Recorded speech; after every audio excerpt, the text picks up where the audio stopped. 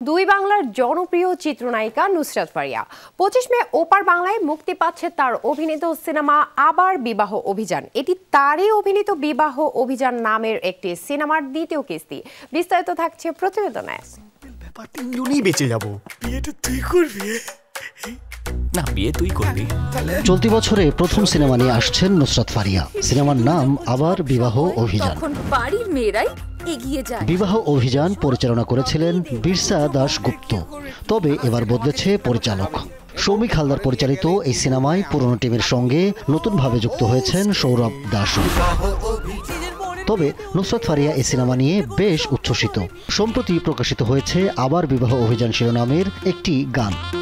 মুক্তির পর গানটি সাড়া ফেলেছে দর্শকের মাঝে যেখানে প্রশংসিত হয়েছে নুসরাত ফারিয়ার অভিনয়। দারুণ এক গল্পের সিনেমা আবার বিবাহ অভিযান। আছে রোমান্টিক সিনের পাশাপাশি কমেডি। নুসরত ফারিয়া ছাড়াও অভিনয় করেছেন অঙ্কুশ হাজরা অনির্বাণ ভট্টাচার্য। আছেন রুদ্রনীল ঘোষ সোহিনী সরকার ও প্রিয়াঙ্কা সরকার।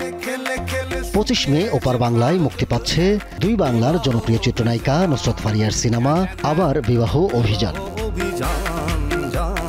Ahmed Tauquir showbiz tonight.